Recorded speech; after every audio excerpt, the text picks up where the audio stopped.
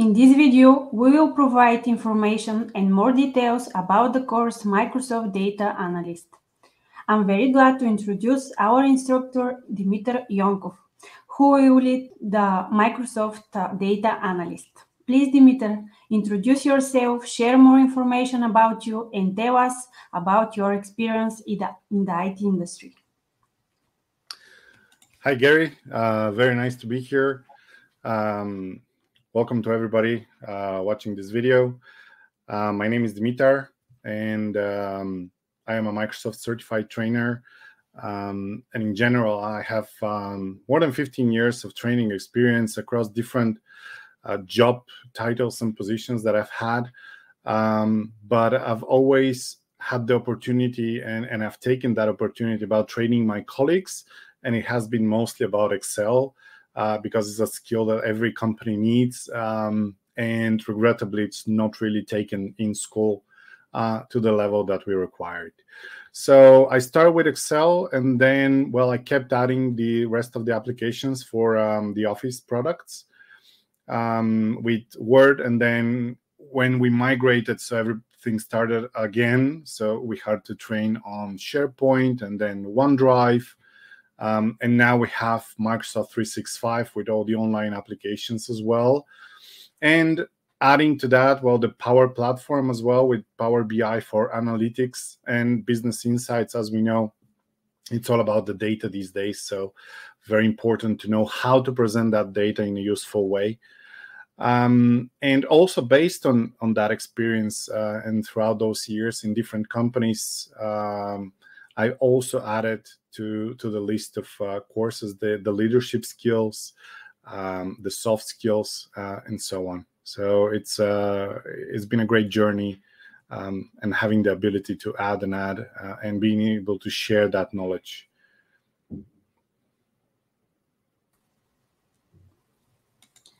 Great, thank you very much. And the next question for you is, according to your observations, what is demand for such professionals like data analyst? Right. So, well, the demand is because of the amount of data that we currently see being recorded by different systems. Um, and, and we all say that it's all about the data, right? Um, the problem with that is that there is so much data that it's it's hard to get the actual information from that data that will make our business successful that will give us the right insights to to follow up and and do the job that we need. So the business analyst is becoming a more and more important position um, because of that ability to actually dissect the data find what is useful in it present it in a way that actually the directors and the management of the company will understand it and giving the ability to the company leadership to actually make an informed decision of how to proceed further. So where do we go? Why are we taking this path or why are we making this change? So very important it's uh it's something that we're seeing more and more.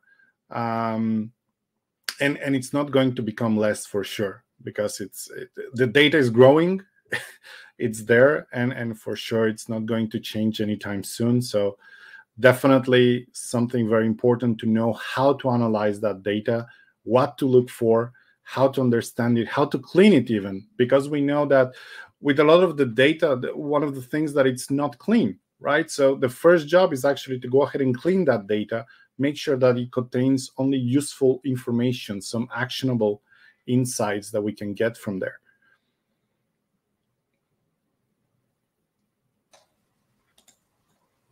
That's very good information. And please tell us a bit more about the course, what topics will be covered, and what practical exercise it will include. All right. Well, it's it's a very complete course. So it doesn't require any knowledge about Power BI to start with that. So we will go through all of the basics until we get to the advanced part of Power BI. So it's first of all, we start about what is data analysis, right? What do we need to do there? Uh, why it is important? What are the specifics? Then even before we get our data inside of Power BI, how do we clean it? How do we transform it? Again, how do we make it useful? Because many times there is a lot of data, and, and sometimes we have typos, we have uh, some data entered twice or three times or more. So duplicates, so we have to clean that. Um, many times we don't we have data that it's entered in the wrong format so you have you see numbers, but they're actually treated as text by the database, and so on. So the first thing, a first step, is to learn how to clean and transform that data before we get it into Power BI. Then it's about building the semantic model. So the semantic model is the base of what Power BI does. That's the connection between all of the different data tables or the different types of data, how we can use them, how we can summarize that data and if there is data we cannot summarize, that's normally not useful for analysis, right? So it's all about the summary. It's about a year worth of data, a month worth of data, right? That we can get into there. So then we add measures, right? So it's also about how do we cut that data into different parts? How do we filter it? What is useful?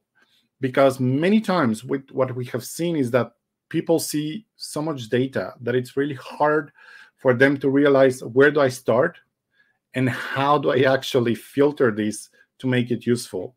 Because there are many things that you can do, but not all of them will get you actionable insights.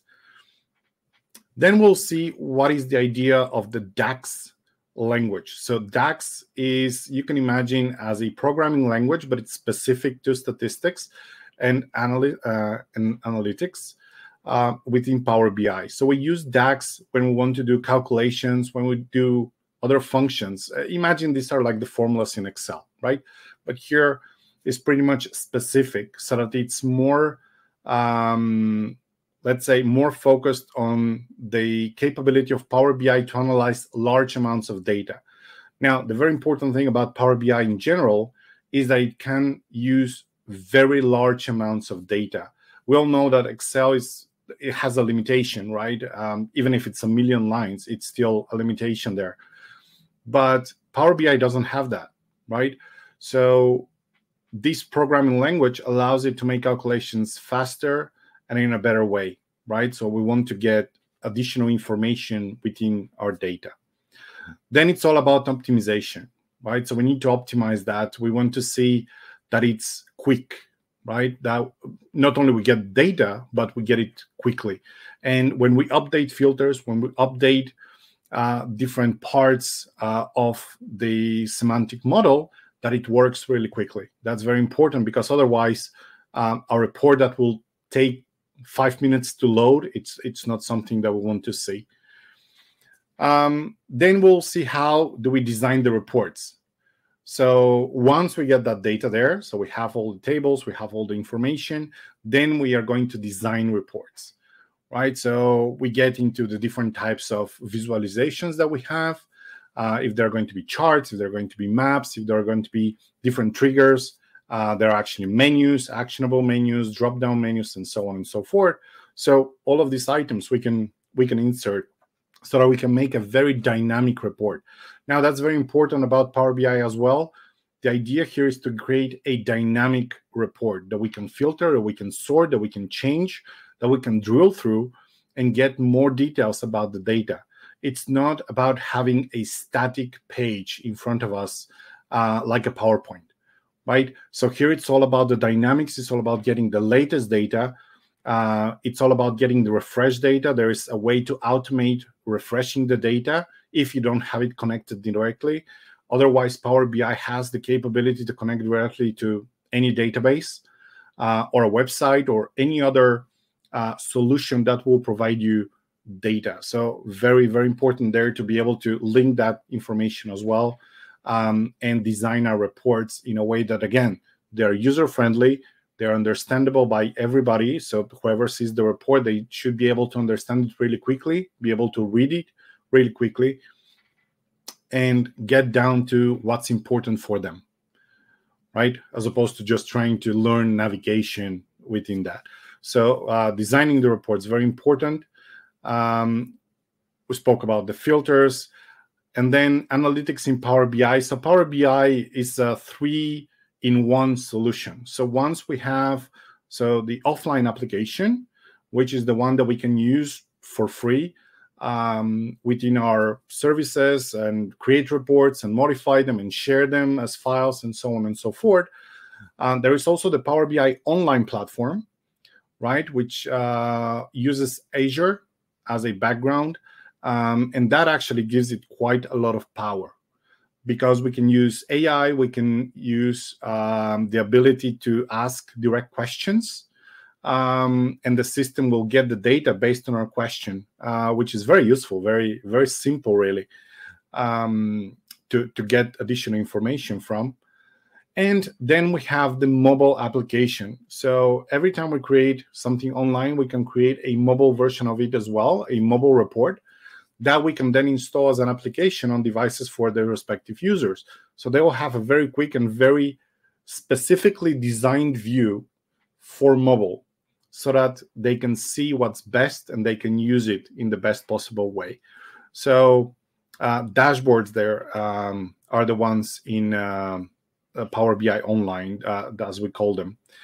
And then finally, security. It's all about the security because even if we can see the whole of the summary, now some people will need to see the granular data behind that summary for others, it will be only the ability to view the summary. So there is security there based on who's browsing that report, right? And what they can see and what they can do with the data. So a lot of a lot of information really that we cover in those um, five days worth of of, of data uh, of of training um, that we have uh, for Power BI. Actually, it's three days.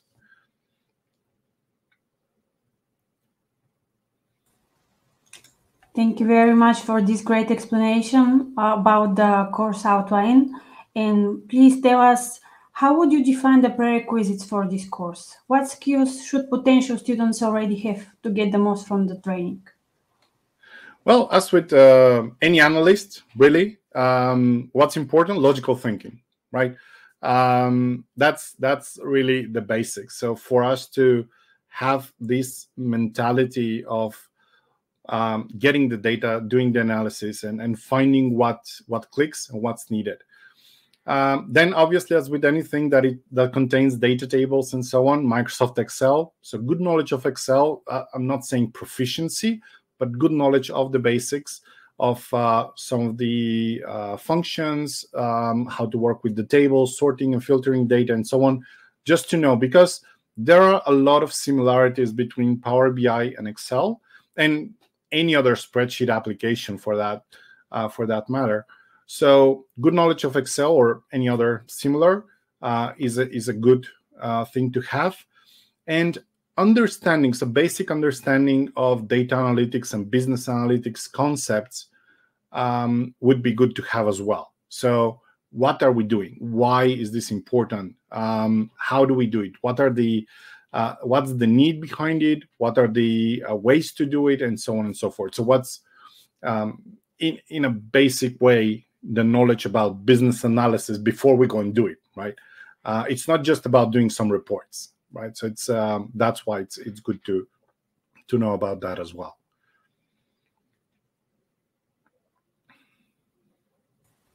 Great. And uh, tell us uh, what international certificate will our students get after successfully passing the exam at the end of the course? So thank you uh, for that question. So very important. Yes, the, the course is just a course, but in the end, what we want to say is uh, we want to become certified. And uh, once we pass the PL 300 exam, um, the certification that you get is Microsoft Certified Power BI Data Analyst Associate. So associate is a second level uh, certification. You can see there are two stars there. Um, so Power BI is not considered a basic certificate, but it's an associate level, so a bit more advanced. Um, so it's it's a very well uh, renowned and uh, recognized certificate, uh, very well known by different companies, and and very useful for uh, getting a good job.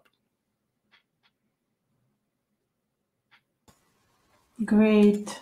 And uh, what job positions are suitable for specialists who just completed uh, this course? Yeah, well, as I said, uh, having the certificate, um, it's about business analytics. So, um, well, you can become a business analyst, right? Um, that's that will be um, the the basic. From there on, uh, you can continue improving your knowledge on the Power Platform, and you can become a consultant. You can become a developer uh, or administrator for the platform. Um, and finally, in essence, um, and that's a master certification. It's a Power Platform Solution Architect. Now, that would be getting to a business and and giving them the whole solution that they can implement uh, for their business to to work in a specific way and get that Power Platform in the best possible way for them.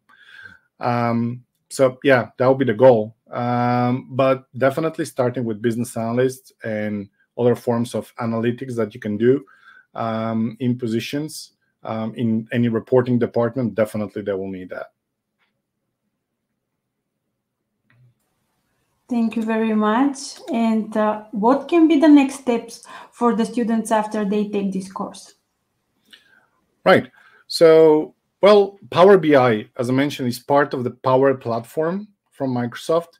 And the Power Platform is a part of different items. So there are Power Apps. Um, there is a the online Azure part that it's uh, very powerful. Um, so I would recommend really to, if you haven't had it before, to go to the Power Platform fundamentals. So learn not only about Power BI, but the whole platform and the capability that it has. Then from there on, again, talking about the developers, so Power Platform Developer Associate, again, it's another exam uh, that can be taken and, and a certificate that can be taken. Um, the Power Automate, so there is a lot of automation in the Power Platform that can happen. So automatically you can do a lot of things based on data that you receive, based on notifications, based on alarms that you can set up and so on. So Power Automate is really, really great uh, a great part of the platform to look at. Um, so there is the Power Automate RPA Developer Associate or the PA, PL 500. Um, then the Power Platform Functional Consultant Associate. So again, if you want to go into the consulting business and you want to um, go to a business and consult them on how to implement Power Platform for their needs and based on their needs, um, you can go with the PL 200 as well. And finally, the biggest one, which is the expert, um, is the Microsoft Certified Power Platform Solution Architect Expert. Now, that will require that you mostly have also the rest of the of the items. So, because it requires a really broad knowledge of the Power Platform in order to become a solution architect. So, this is pretty much the top that you can get. Um, but definitely start with the fundamentals. Um, add the fundamentals to your um, to your portfolio.